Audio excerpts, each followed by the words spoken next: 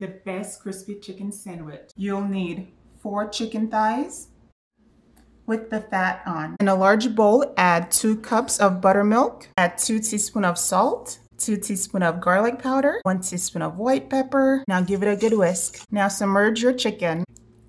Cover and place in fridge for 2 hours or overnight. Now for the secret sauce, you'll need 3 4 cups of mayo. To that, add 1 tablespoon of hot sauce, 1 teaspoon of smoked paprika, half a teaspoon of garlic powder, 1 teaspoon of lemon juice, season with salt to taste. Now give it a good mix.